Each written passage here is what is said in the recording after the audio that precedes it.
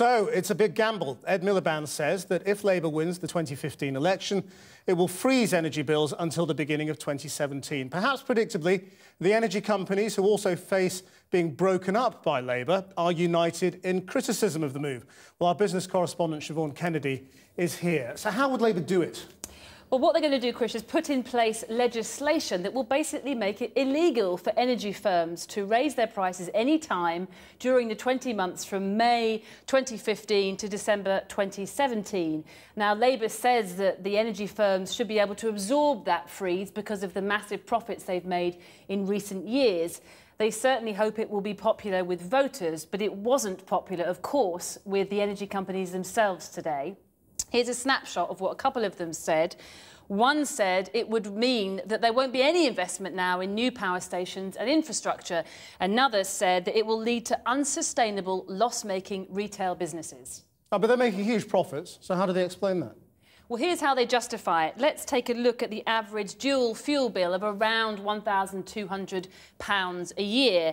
Now, energy firms say that only half of those costs in the bill actually are for the energy itself, while about 20% is made up of network costs, the cost of distributing energy and gas around the network. But 10% and rising of costs in bills is made up of investment that the government mandates these energy firms make to roll out new green technologies like wind and solar, and also to invest in urgently needed new um, power stations.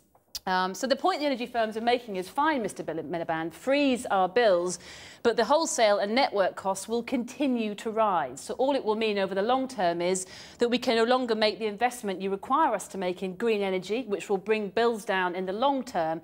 And equally, it could lead, in the worst case scenario, to blackouts because we won't have built the new power stations that are required to meet increasing demand. Uh, well, so should we believe their numbers? Are they well, right? If, well, if you look at this, it does appear to make sense, but you could also argue that these are extremely profitable companies and that in the freeze period, if you like, they could pull in profits from somewhere else to keep that investment up.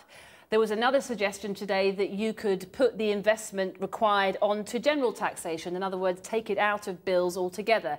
But there does appear, Chris, to be a slight contradiction here, that on the one hand, Mr Miliband is saying let's freeze these energy bills. And on the other, he's saying at the same time, I'm going to stick to key climate change targets for 2030. But those require massive investment itself by the energy companies. So how he is making the two add up is not clear. OK, thanks, Siobhan. Well, joining me now is the Chief Executive of Energy UK, Angela Knight, and the Shadow Energy Secretary, Caroline Flint, is in Brighton. Um, Angela Knight, what does Centrica mean by we wouldn't be able to operate? Well, I think that clearly what you need to do is look at those figures that were just put up a moment ago, which shows that actually a very small amount, interestingly, of your energy bill, something less than 20%, is actually within the uh, control of the energy company. And that is the 20% which they use to uh, run the power stations, to employ the people. A large proportion of the bill actually comes from factors that are outside the control. And so if one is looking at what the future looks like when you have actually frozen the prices, then the answer is that you're going to get some adverse consequences. And so, so your companies will just, cut investment, will they, if, if, they're forced to do this, if Labour win the election? If you can't uh, charge the right price for the money that you're investing, then you can't invest in the first instances. So you won't cut, cut your profit margin? Well, your, your, your members will still take their profits uh, and they will cut investments in renewables. That's what you're saying? I think that there's actually completely wrong story about profits.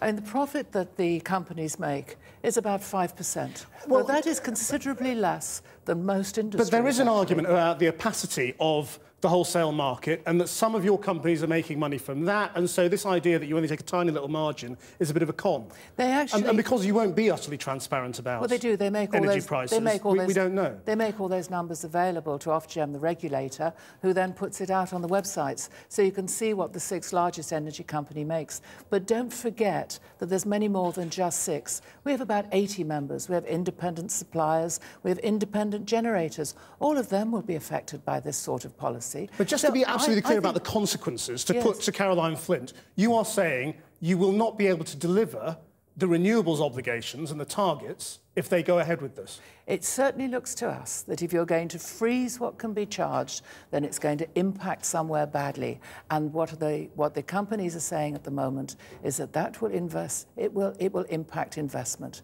And what we need in this country is more investment in energy, okay. and particularly to meet those targets to which the uh, the uh, politi politicians have signed up to. Stay with us for a moment. Um, let's go to Caroline Flint in Brighton this is, this is politically popular, but not actually very sensible, is, is, the, is the argument.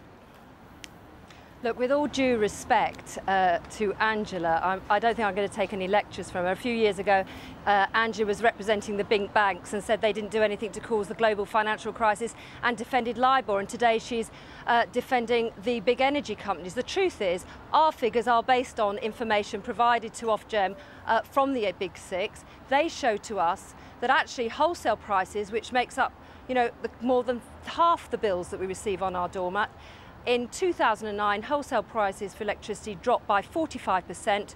Uh, customers only saw a 5% reduction in their bill and it's been out of kilter ever since. So the freeze is about stabilising the situation until we get our reforms in to tackle a dysfunctional uh, energy market that isn't competitive enough, isn't transparent enough, and really has left the public um, at a loss as to how these company companies operate and lost their trust but at the same time. Will, will your legislation force them to take the money out of their profits rather than out of investment in renewables?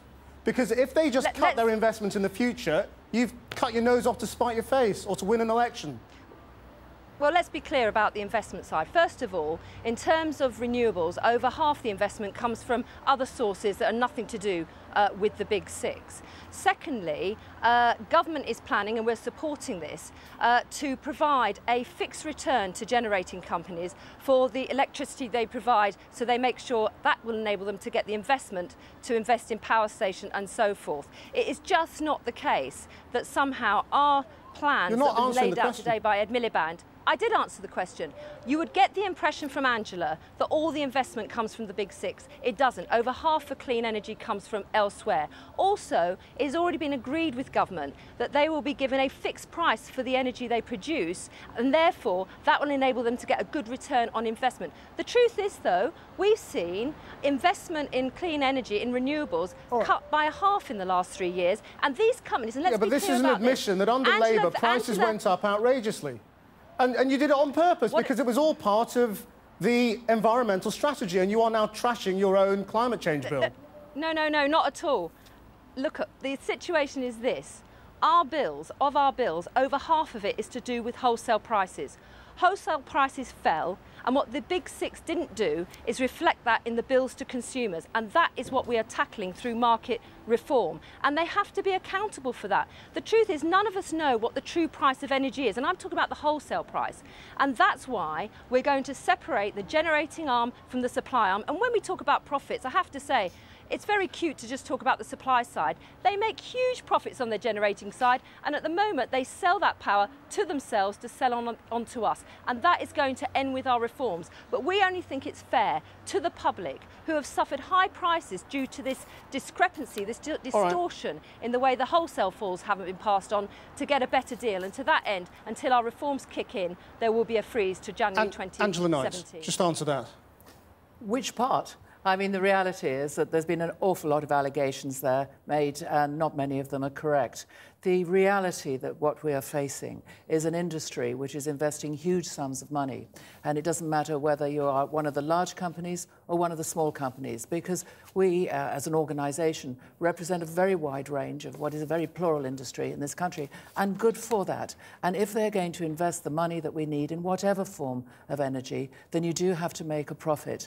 And the question that we need to ask ourselves is not whether you should take one bit or try and distort the market another way or say you don't like a particular company. We should look at the whole of the okay. energy issues and discuss it with people so they understand and we all are able to Angela have that Knight. proper, clear, open and honest discussion. Angela Knight, Caroline Flint, thank you both very much. Thank you.